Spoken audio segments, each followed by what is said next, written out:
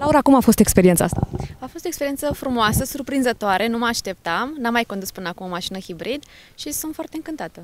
Te pregătești oarecum pentru ce se va întâmpla după Tokyo în cazul unui titlu olimpic acolo? Bineînțeles, mi-am, acum mi-am intrat un pic în formă, știu ce mă așteaptă și o să lupt din toate puterile pentru a putea fi deținătoarea unei astfel de mașini. Ce urmează acum în, în programul tău la final de sezon? În luna noiembrie avem finala Cupei Mondiale, unde cele mai bune 18 trăgătoare vor uh, lua parte la această competiție în China și să sperăm că ne vom întoarce victorioși, cum am făcut-o cam pe tot parcursul anului. E un antrenament, o pregătire, o competiție de obiectiv sau uh, doar o competiție de final de sezon de pregătire, să spun? Pentru mine personal uh, este un antrenament, pentru restul poate să fie o competiție foarte mare, dar eu îl consider un antrenament foarte bun pentru a încheia un an excepțional pe care l-am avut. Ai rămas foarte mult timp până la, la Jocurile Olimpice de la Tokyo și cu siguranță te gândești la acea zi, la acea oră, că îmi spuneai că e vorba de o oră după patru ani de muncă. Uh, cum arată în acest moment uh, ediția de la Tokyo pentru tine? Pentru mine poate să întâmple și mâine. Mă simt pregătită chiar din momentul acesta să pot participa în absolut orice zi, ca și cum ar fi Jocurile Olimpice.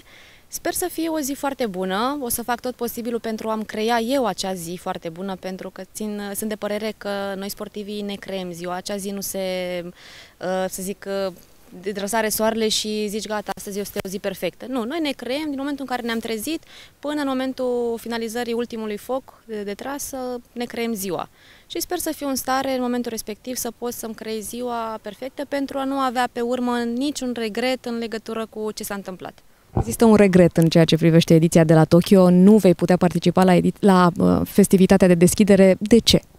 Așa este, am aflat curând, recent, pardon, am aflat că nu voi putea participa la această deschidere de jocuri pentru că proba mea este în prima zi, adică voi deschide jocurile olimpice Adică pe 25 iulie la ora 8 dimineața voi avea primul foc de tras, ceea ce îmi face imposibilă prezența la um, deschiderea de Jocuri Olimpice. Este prima ediție la care particip și îmi doream enorm să pot uh, participa, dar din păcate așa s-a făcut programul și nu voi avea această șansă, dar pe viitor sunt sigură că nu voi avea același ghinion de a trebui să trag chiar atât de devreme, astfel încât să nu pot să particip la deschidere.